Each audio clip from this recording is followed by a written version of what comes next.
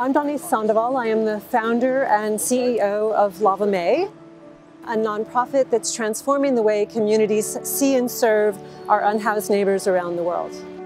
We began by converting public transportation buses into showers and toilets on wheels for people experiencing homelessness. So I got inspired because gentrification hit my neighborhood. Three of my elderly neighbors got evicted one by one and eventually died on the streets because there were no shelter for them. And I know that you need a good story to raise money and I thought, wouldn't it be great to do something good with something people love to hate, a public transportation bus. And so Lava Mae was born. When you are really trying to serve people, the ultimate act of care and compassion is to take the service to where people are. And for us, our guests are on the street. So through our partners, we get the word out. Word on the street just spreads like crazy with such a shortage of showers and toilets. And today we are going to give about 40 to 45 showers.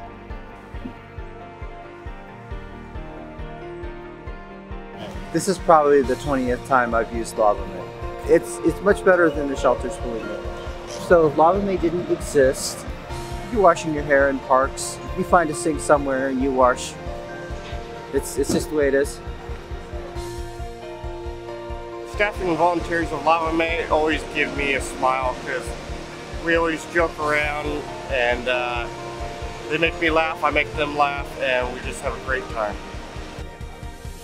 If you live on the streets, you never have a moment of privacy.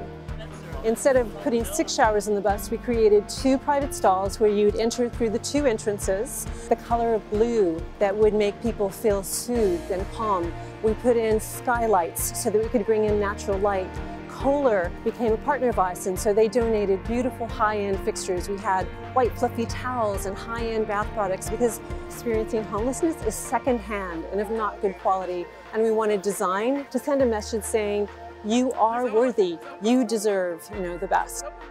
We realized that the way you serve people is actually more important than the service itself, ensuring that we meet each other at the highest rather than the lowest common denominator to really see each other and to make a true human-to-human -human connection.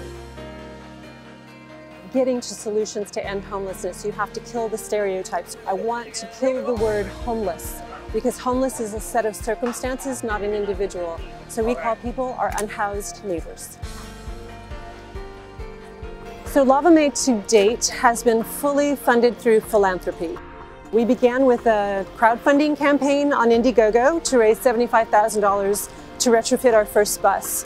We were very successful in getting the story out and it went global. So we've had great relationships with companies like Unilever or with Google because we know the value of a brand and also how to meet their own uh, objectives and goals.